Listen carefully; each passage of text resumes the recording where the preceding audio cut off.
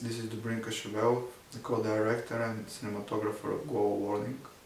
I would like to thank Action4Climate Contest. I'm really honored uh, that our film was chosen by filmmakers that I respect and admire. And uh, last but not least, I want to thank people of Philippines and I want to thank our precious crew. I love you.